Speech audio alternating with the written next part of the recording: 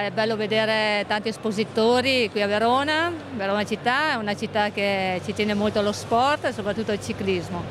E io essendo veronese sono molto fiera di, questa, di questo evento e si può vedere tutte le novità, insomma è uno spettacolo, anche provare bici, bike test, per cui ce n'è per tutti.